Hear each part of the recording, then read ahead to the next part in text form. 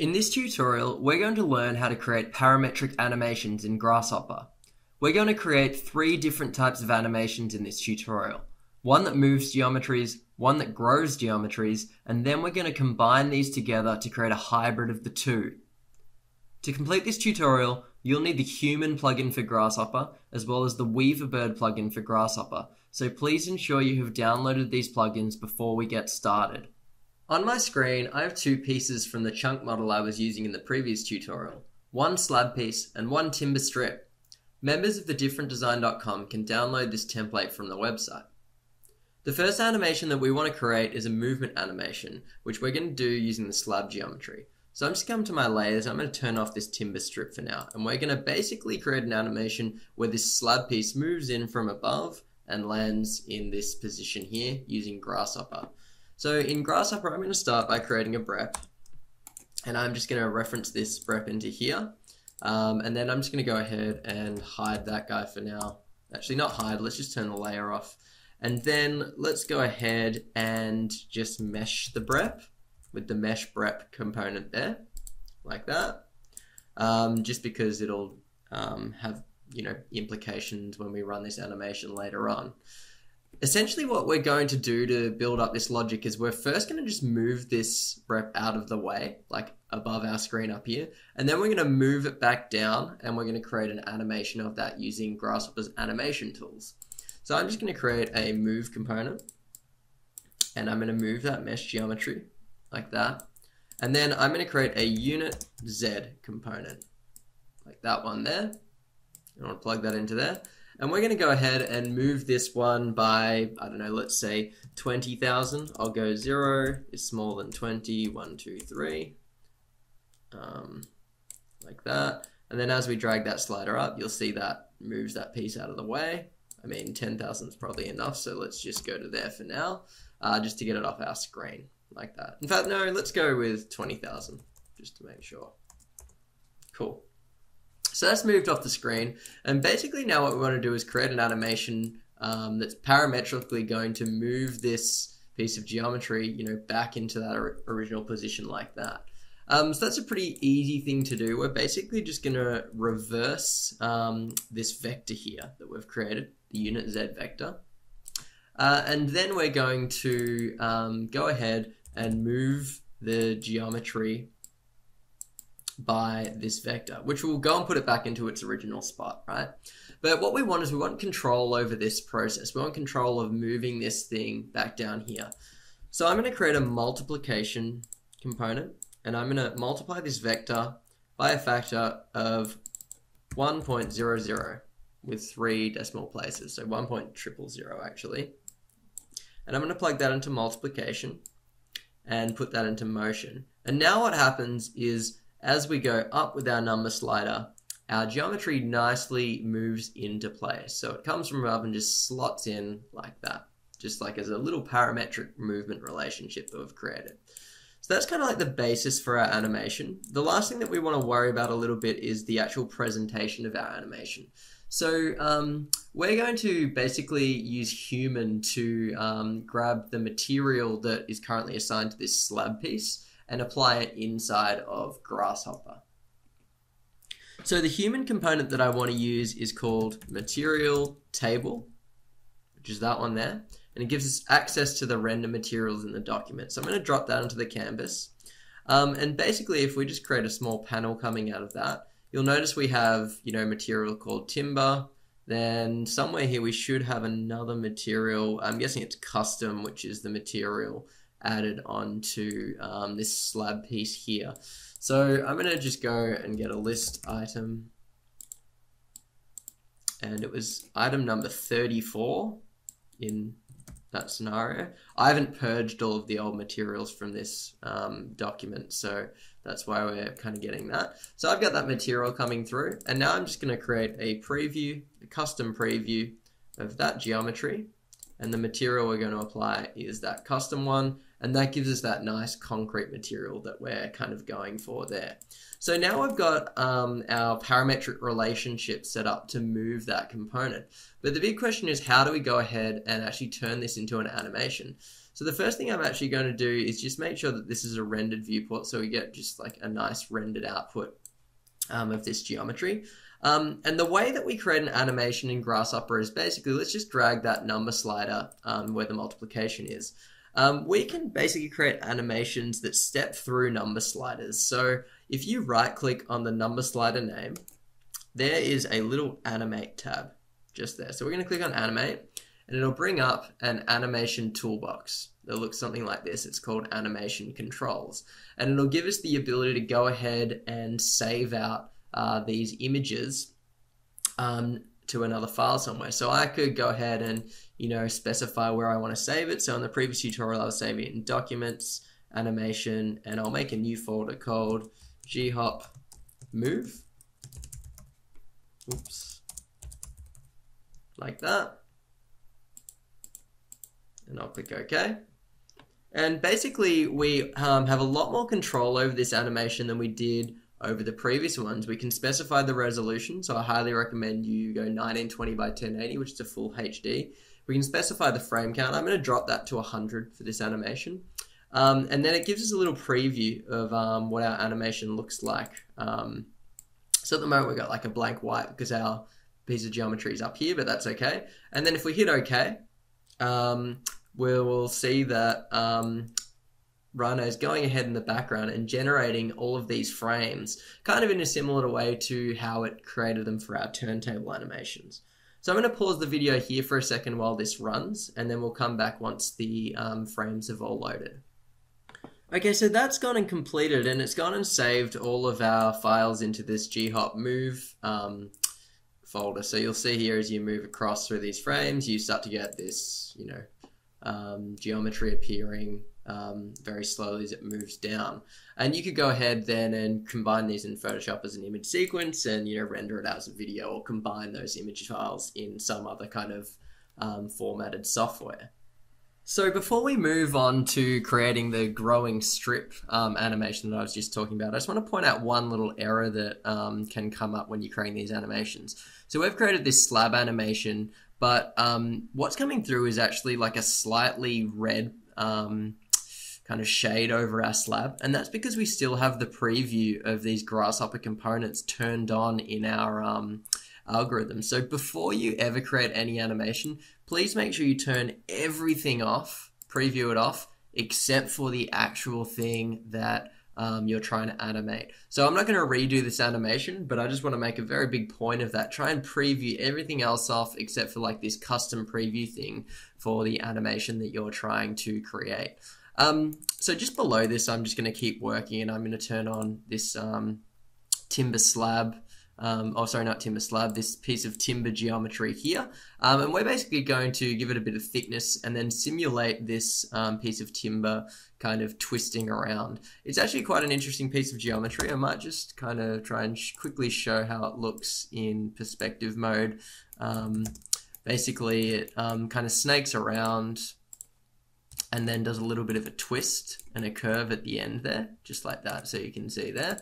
Uh, and we're going to go ahead back into parallel mode and basically just simulate this guy as a animation. So um, just to start with, I'm going to reference it in as a surface. So um, I'm just going to go and right click and go set one surface uh, and set that guy in here like that then basically what we want to do, um, similar to how we're trying to kind of deconstruct an animation, we want our strip to grow from here all the way out to here with a bit of thickness. So I'm actually going to use a component called the isotrim component, and this is going to enable us to extract a subset of this surface. So the surface itself is that guy, obviously, and we actually want to reparameterize, um, let's reparameterize coming into the isotrim just to be sure, actually.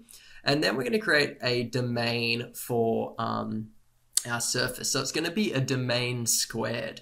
Um, a domain is obviously values between, you know, two variables, but a domain squared is basically, you can imagine that our surface is made up of values along this axis, which is called the v-axis, and then values along this axis, which is called the u-axis, I think, if our surface is built in the way I think it's built. So we actually have to create a domain from this point to this point, and then another one from this corner all the way down to here to extract that subsurface that we're after. So I am going to go ahead and construct a domain squared from two simple domains. Actually, no, I don't want to do it from two simple domains. I want to do it from the u mins and u maximums like this guy here. So basically, um, we could imagine like um, the u minimum of u is going to be 0 to a u max being 1 is probably like that height, I imagine, or it's either maybe the u value is actually the length. Um, if we are able to basically control these values, we should be able to grow the length of this strip. And I'll kind of demonstrate that in practice a little bit and then explain it. So I'm just going to create a number slider that's 1.000 in value. So similar to what we were doing before with that previous animating number slider, I'm going to plug it into Umax and then plug this 2D domain or this domain squared into this output. And let's just see what happens here. So if I pull this guy down, you can see I'm getting a little bit of a subset um, of this um, surface coming through, right? So this surface is, you know, going in the, it's actually kind of growing in the opposite direction that I would like, um, but that's okay. It's not a huge deal for us. If we wanted it to grow in the other direction, we could do a dir command, and I think you can um, reverse the use like that. Hit enter or, hit, or return, and then hopefully it will actually grow for us, yes, in the direction that we want to. So we've flipped that U around. So um, zero is actually back here now and one is up here. And basically what we're doing is we're extracting a subsurface from this um, larger surface. So you get this kind of like growth effect of this initial condition. And you can probably already imagine where we're going with this from an animation perspective. So I'm going to go ahead and do similar thing. I'm going to go and mesh the um, brep that's coming through here. Um, and then we're going to use a Weaverbird component. So if you've downloaded Weaverbird, that's great. We're going to use the thicken mesh component. So Weaverbird's mesh thicken. Um, and I'm just going to thicken this mesh here. Uh, I'm going to give it a distance of about um, 100. Let's go with 100. Actually, let's go 95. Doesn't really matter too much though. Um, just me thinking ahead for the next task um, after this when we combine all these things. And now I've got a thickened mesh output that parametrically links itself back to all of this stuff. So we've actually got a thickened piece of geometry that's able to grow and shrink based on this number slider over here. And then it gets really simple. We basically just want to do the same thing that we did before. We're going to get a material table. Um, the material name we want is actually that Timber 01. So I'm just going to get a list item that guy there. And that'll give us that material we want. And then I'm just going to do another preview, custom preview. It's going to be this geometry here, which is our thickened geometry with our material, our timber material applied to it. And then I'm going to preview everything else off so we don't make that same mistake again. Um, and this time I'm going to, you know, zoom in a little bit on this timber strip so we get a bit of a nicer animation. And of course, we can control the length of this timber strip now. So we can now go ahead and create an animation from this guy using the animate command. So we could go to number slider, animate, it'll bring up our little animation tab. We'll go and create a new folder under, um, what was it, under documents. I was trying to create it. Nope, not there.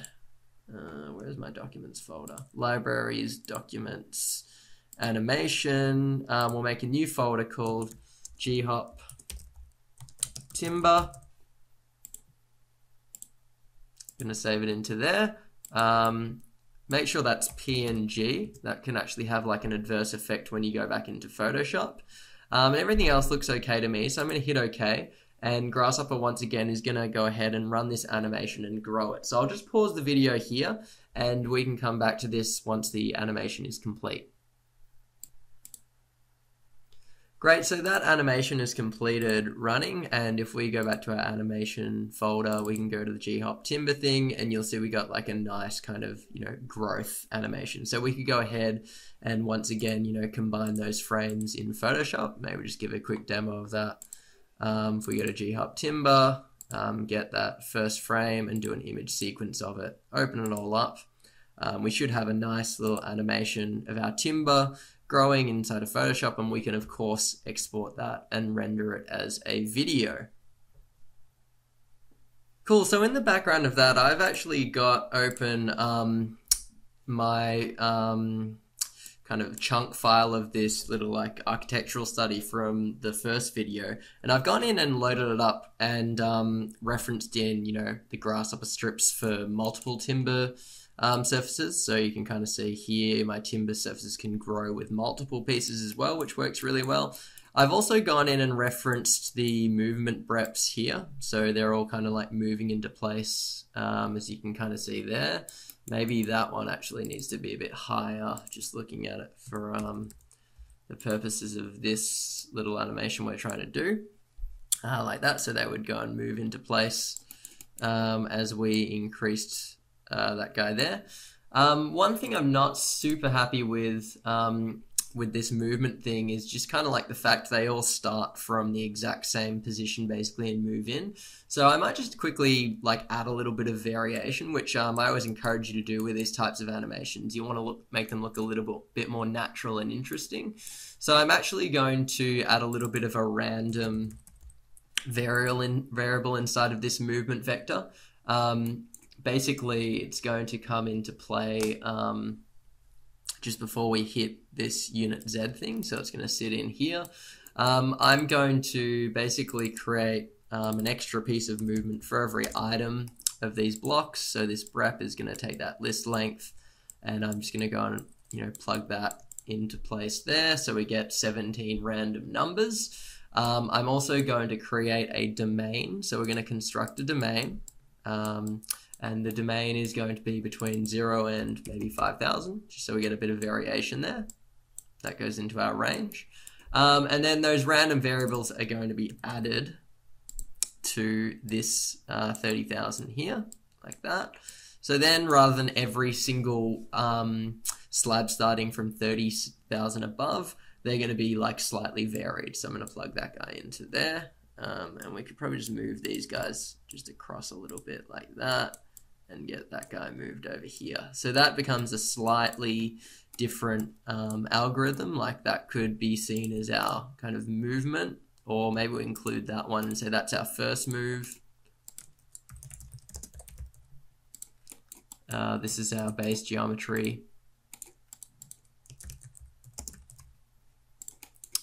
And then, you know, materials, And this is our second move over here. Like that. So now if we go and, you know, move this slider around, we get a little bit more variation in the way that they all appear. So rather than them all coming in really flat, they don't actually become flat until they hit um, that last moment. And because um, both of these algorithms are set up to use this between 0 and 1 slider, I could go and use this 0 to 1 in here, like that. And then maybe we could just remove this guy from the group. Sorry, I'll just give a little bit more room. So it's just combining both of our um, algorithms here. Um, and this can be like basically, maybe we'll make it a nice red so it's obvious and we'll give it a blob outline. This can be our animator, like that. So then when we say go to rendered mode now, and we go ahead back to zero with this slider here, we are able to go ahead and create an animation that becomes even more complex than our previous one. So I'm going to go ahead and go animate, get our little animation um, slider up, and down here I'm going to make a new folder called GHop combined, like that. Go OK. Um, that all seems pretty good to me, so I'll hit OK. and we can see this go ahead and animate our um, our entire process. So I'll just pause the video here and we can check this out in Photoshop after.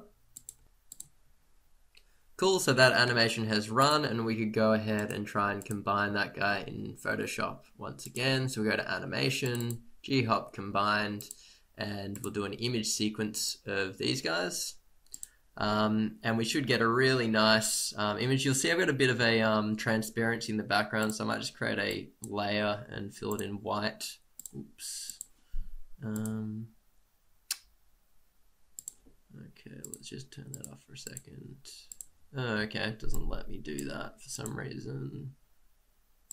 There we go, that's better. Let's move that out there. Um, and then, you know, we can fill in that white background really easily. So now if I hit play, you see we get this kind of really smooth animation of my timber pieces growing and my um, slabs moving into place uh, in that animation like that. All my um, timeline's trying to play that little white bit a little bit longer. So that's basically how you could go ahead and combine some of these animations together to create a, a slightly more complex animation that could showcase some of your um, design ideas just using simple tools in Grasshopper.